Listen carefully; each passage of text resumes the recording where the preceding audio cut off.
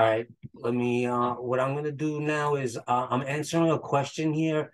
What, how is, um, well, in other words, I have my hospital heirloom original with the pink feet and gold certificate. I have made certified copies. What else is proper? Basically to a proper, properly authenticated birth certificate.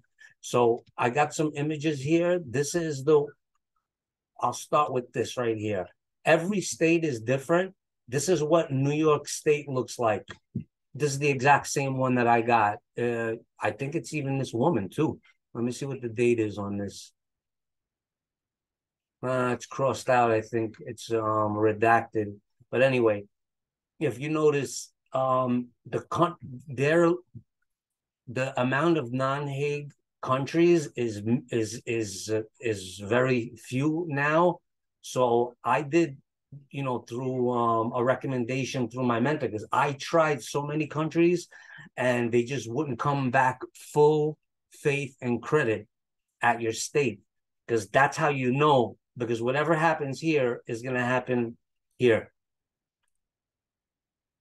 No, where is, come on, right here with the United States of America. So um, I was in New York State. So in order to get full faith and credit, you have to pick a non-Hague country. Just do a Google search, non-Hague country. But sometimes you there's misinformation. I used Taiwan.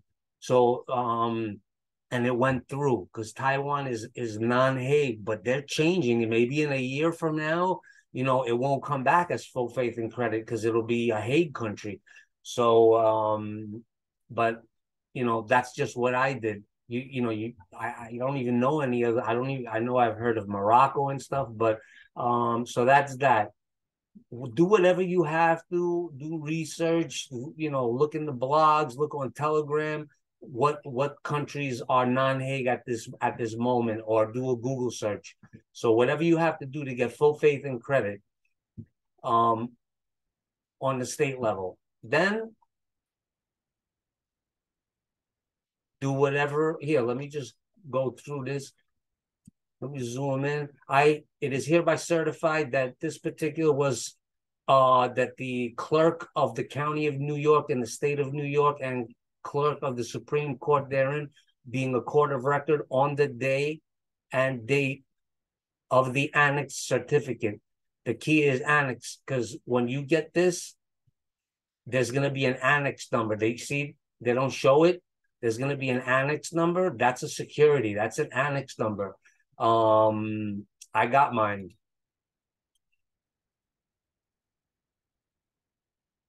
of the date of the annex certificate and duly authorized to grant same. That the seal affixed to the said certificate is the seal of said county and court.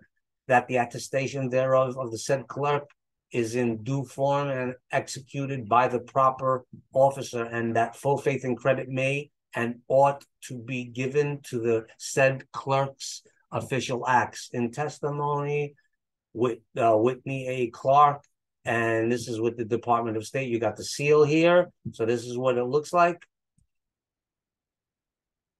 on the state level. Okay.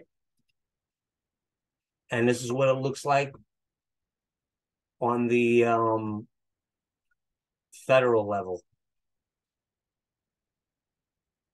That's that. Now we zoom in.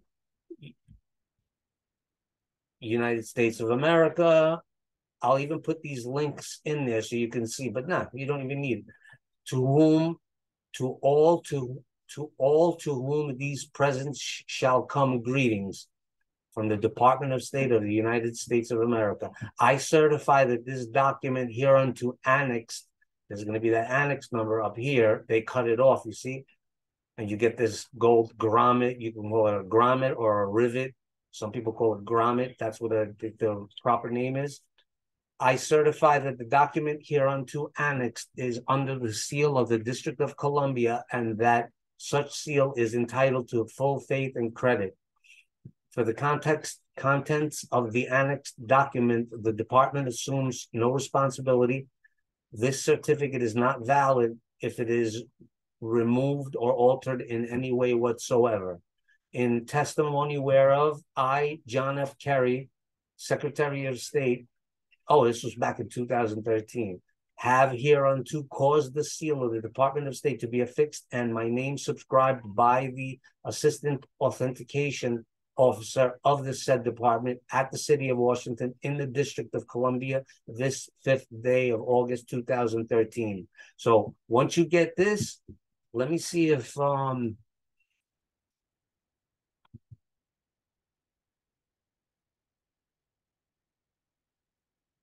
um the um certificate. Oh no, it's not a certificate, it's an affidavit of beneficial beneficial ownership images. Minnesota Rule 220.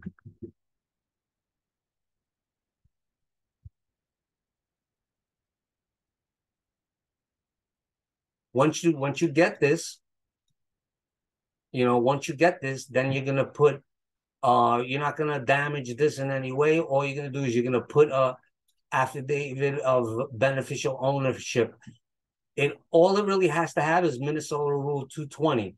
But let's see. Minnesota Court Rules Affidavit of Acknowledgement. That's not it. It's very, very small verbiage. They're trying to hide it. That's why. Let me try DuckDuckGo.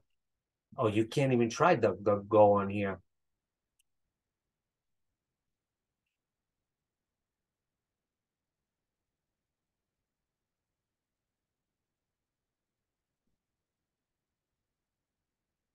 Maybe you can, but they're not making it easy. So I'm just gonna go to Firefox.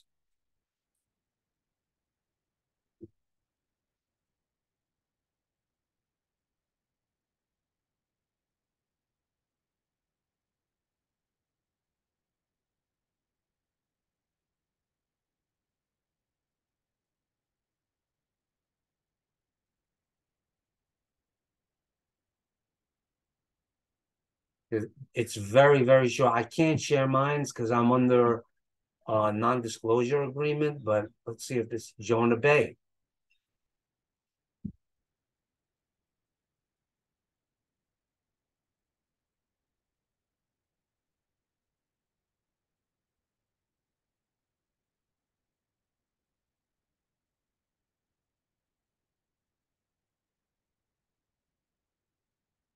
What is this? Oh, it's Scribe.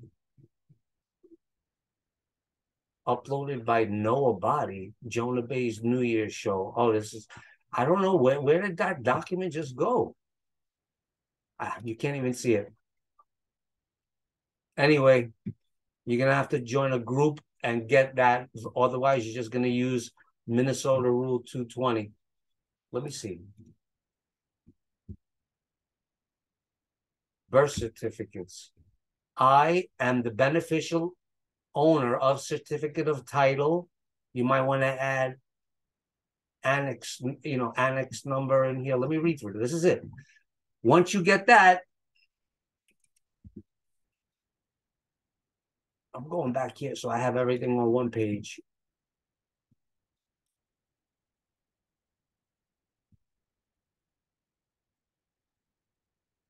Minnesota Court Rules Affidavit of Acknowledgement, General Rules of Practice, Rule 220, Minnesota Birth Certificates. The registrar of titles is the registrar of titles is authorized to receive for registration of memorials.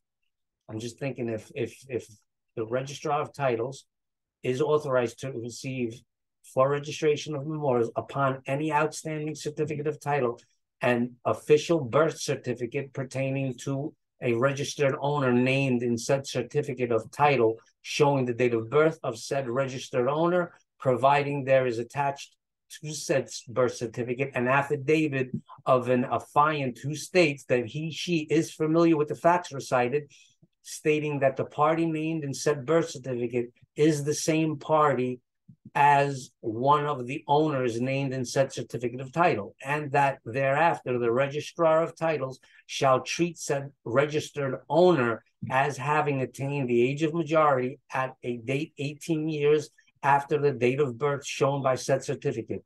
Task force comment.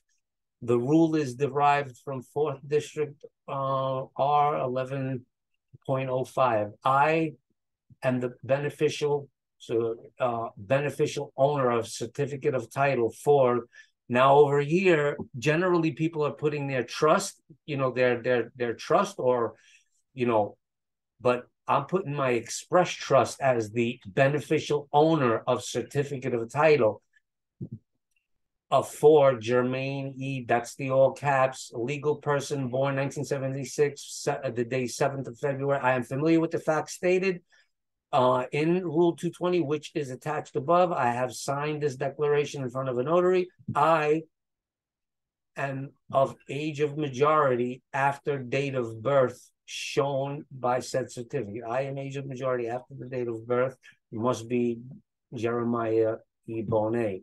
State of New York, the jurat here, or no, it's this is just uh personally known or produced identification. Notaries get it notarized over here. So um once you get this, then the technique what they're using is they're making a promissory note.